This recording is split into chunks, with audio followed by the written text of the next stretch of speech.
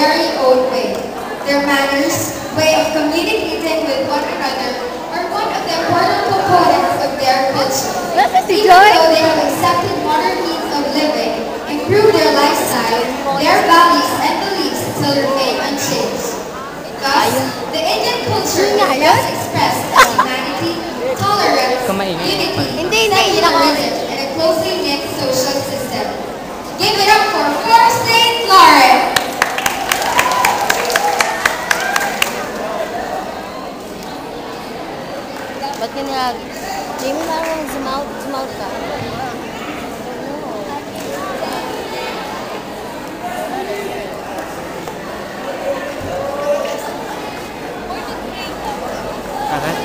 na ako.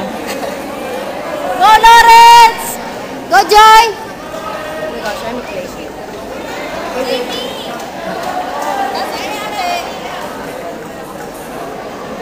Ball? Burger St. Lawrence is representing one country in Asia, India.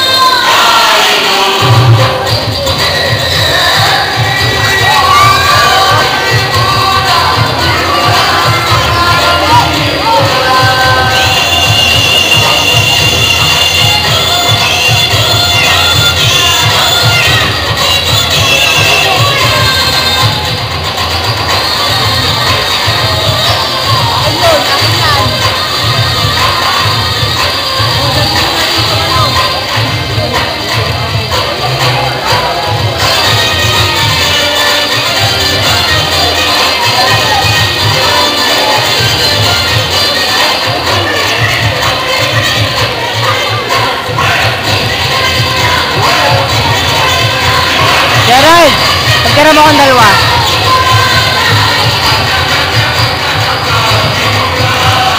Galing naman na gel. Ano, ano? Teka mo.